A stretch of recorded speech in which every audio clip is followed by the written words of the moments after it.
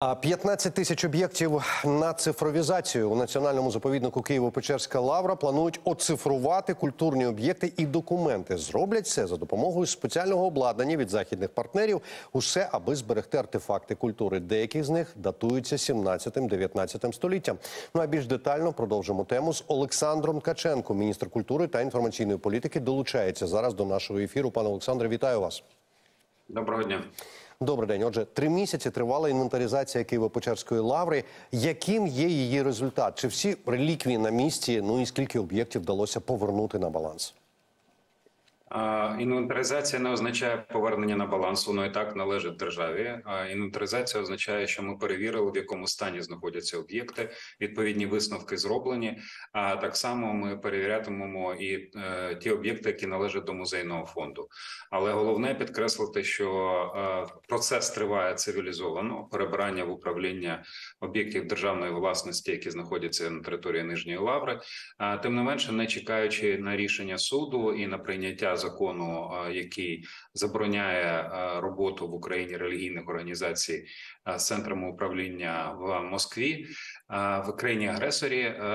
Ми розпочали роботу про з приводу того, щоб Лавра почала повертати для себе українську ідентичність, крім тих об'єктів, що ви назвали, які будуть оцифровані. Це за допомогою наших західних партнерів ЮНЕСКО поновлюється нормальне життя в самій лаврі, тобто є і можливість людям організовувати екскурсії і відкрито економічну браму, і проведено вперше службу Мазепінській церкві, власне, за самого Мазепу, вперше в історії лаври, тому що людина, яка була меценатом для лаври, там заборонялося служити служити по ньому його пам'ять. Розпочата робота над стратегією Києво-Печерської лаври, тому що ми хотіли б бачити лавру українською.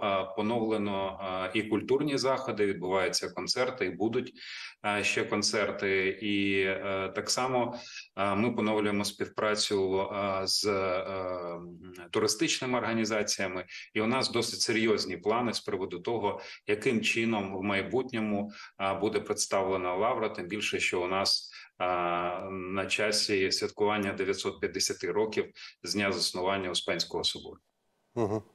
Ну а зараз є інформація, і ви про це розказували. Що в міністерстві працюють над створенням стратегічної візії Києво-Печерської лаври 2023-51 роки, і називається нова форма... Е, формація українськості.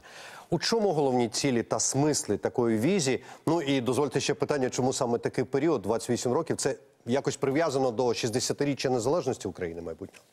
Ні, це прив'язано до дат пов'язаних з історією Лаври. Це певні три етапи: короткотерміновий, середньотерміновий і е, стратегічні етапи. А взагалі то Лавра це прилина для України, яка має жити, в якій мають бути відвідувачі, і в якій має продовжуватися духовне життя. Але на жаль, через оцю так мовити.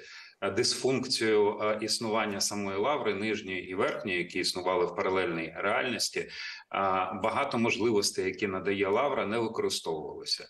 І мова не йде тільки про реставрацію, це теж передбачено. Мова йде про насичення життя лаври, там де мають з'явитися осередки культурного, світського, духовного життя, в тому числі і університети, в тому числі духовні в тому числі і маршрути туристичні, по яким можуть ходити люди.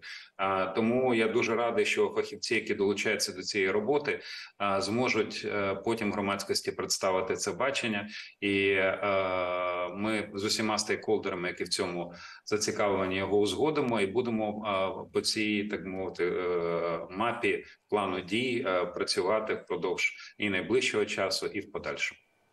Пане міністре, дякую за пророблену роботу. і Дякую вам за ваш час е, за цю коротку розмову. Це Олександр Ткаченко, міністр культури та інформаційної політики України. Був у нас на зв'язку. Дякую вам.